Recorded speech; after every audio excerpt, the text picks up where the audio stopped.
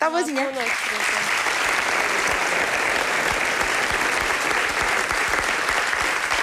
Foi uma pena, é prima do Cristiano Ronaldo, mas foi uma pena que os portugueses a pusessem fora de jogo eh, tão depressa. Pois, infelizmente foi assim. E ficou tristíssima. Eu fiquei triste. Não acha que é muito novinha, tem 18 anos, não é? Muito novinha para, para entrar neste jogo, especialmente depois de observar a casa e ver que aquilo lá está. Acho que sim, mas pelo menos entrei e tive esta oportunidade. Muitas pessoas perguntam como é que é prima, em que grau, não é? Portanto, os vossos, os seus avós e os, da, e o- e os do Cristiano são irmãos, é isso, não é? Uma coisa assim, e sei que a mãe dele é a prima direita da minha mãe, por Sim. isso ele é o meu primo em segundo grau.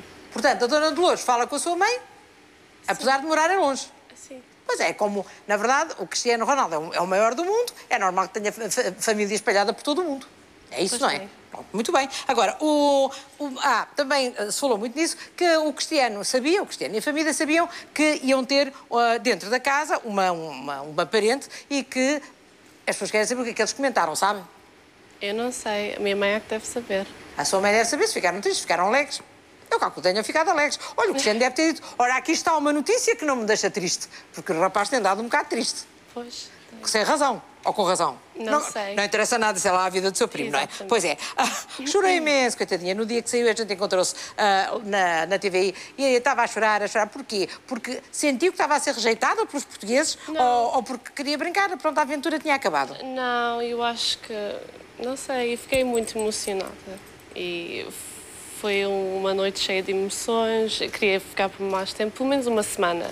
E ficava bem. Mas para fazer amigos, era isso? Para fazer amigos e também para ver se desvendava algum segredo, não sei. E ganhava algum dinheirinho. Acha os rapazes da casa giros? Já perguntei à Cátia. Marisa. Qual é o mais giro?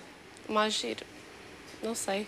São todos. A Cátia Marisa disse também são todos. E, e são todos na, na sua maneira. Oh, raparigas da minha vida. O pessoal do meu tempo escolhia bem.